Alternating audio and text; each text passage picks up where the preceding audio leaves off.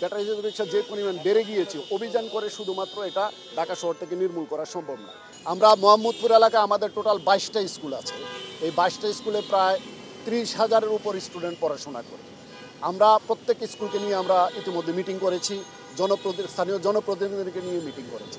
আমরা এই এখানকার একটা বড় ধরনের সমস্যা হলো, গাড়িতে স্কুলে যেরকম বিভিন্ন ব্যক্তিগত গাড়ি আসে, আবার পাশাপাশি রিক্সা। একই জায়গায় রিক্সারও একটা ইয়ে দেখা যায়। আমরা ওখান, ওই এলাকাটাকে নিয়ে আমরা কিছু পরিকল্পনা ইতিমধ্যে করেছি। আমরা হয়তো তখনও আপনাদেরকে জানাব। এই কিছু ওয়ান ওয়ে রোডের ব্যবস্থা করেছি এবং এই পরিকল্পনাগুলো আমরা আশা করি হলে সপ্তাহ দশ দিনের মধ্যে আমরা ইমপ্লিমেন্টেশন করতে পারব। তো তখন এই এলাকার জাম অনেকটাই নিয়ন্ত্রণে চলে আসবে বলে আমাদের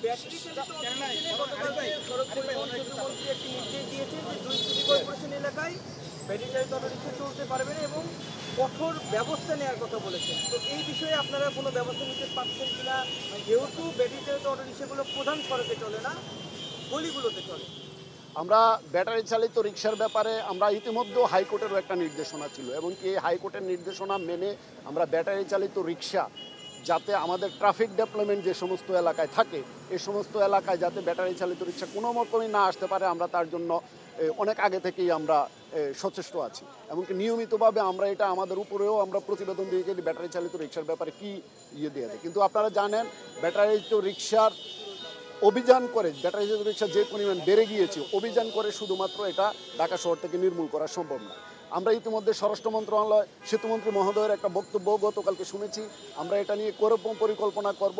ব্যাটারি চালিত রিক্সার মূল উৎসস্থল যেগুলো, ব্যাটারি চার্জিং পয়েন্ট যেগুলো, যেখানে গ্যারেজ আছে, এমনকি যে সমস্ত ব্যক্তিরা এখানে জড়িত এই সমস্ত ব্যক্তিদের তালিকাও আমরা ইতিমধ্যে প্রণয়ন করার কাজ শুরু করেছি।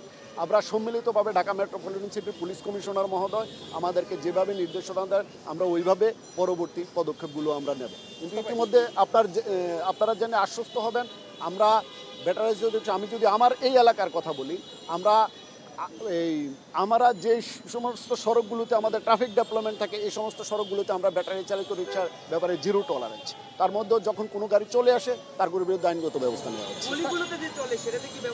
আমরা এই গলিগুলোর চলার ব্যাপারে আমি যেটা বলেছি এই গলিগুলোর চলার ব্যাপারে মূলত তার উৎসস্থলটা আমরা নির্মূল করতে হবে। এবং সেই উৎসস্থলটা নির্মূল করার জন্য আমাদের পুলিশ কমিশনার মহোদয় বা আমাদের ট্রাফিক ডিএমপি ট্রাফিক ডিভিশনও এটা নিয়ে কাজ করছে।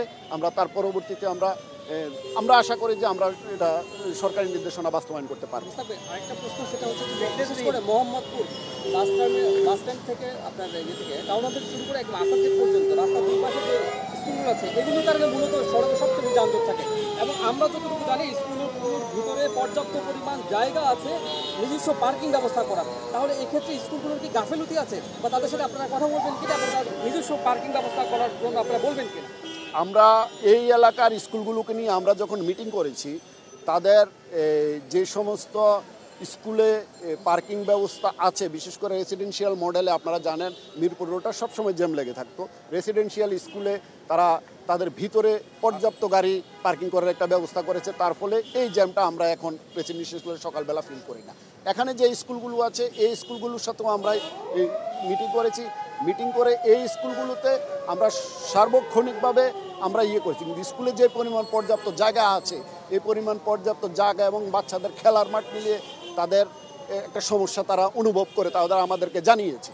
এবং তার পাশাপাশি আরেকটা গুরুত্বপূর্ণ ইয়ে হলো যে, আপনার একটা স্কুলের যে পরিমাণ ক্যাপাসিটি তার চেয়ে অনেক বেশি স্টুডেন্ট এটা পড়াশোনা করে। এই কারণে এই ট্রাফিক লেভেলে এটা ম্যানেজমেন্টের চেয়ে এটা একটা শিক্ষা ব্যবস্থাপনা লেভেলে একটা ম্যানেজমেন্ট জরুরি যে, এই স্কুলগুলোতে কি পরিমাণ স্টুডেন্ট ভর্তি হলে এই এলাকার জনসাধারণ, সাধারণ জনসাধারণের দুর্ভোগ পোয়াতে হবে না, তার জন্য একটা জরুরি।